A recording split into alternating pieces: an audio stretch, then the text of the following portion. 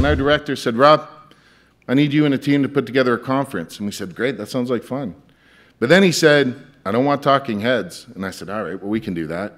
And then he said, oh, by the way, we don't want workshops. And I said, oh my God, well, what do you want?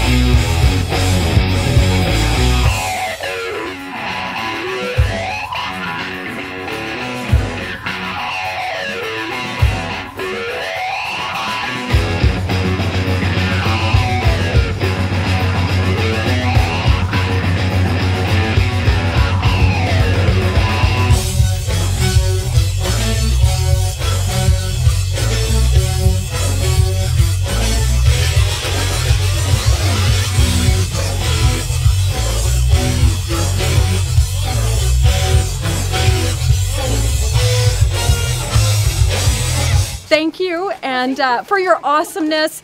Steelworkers make great neighbors. Like, it's, it's awesome.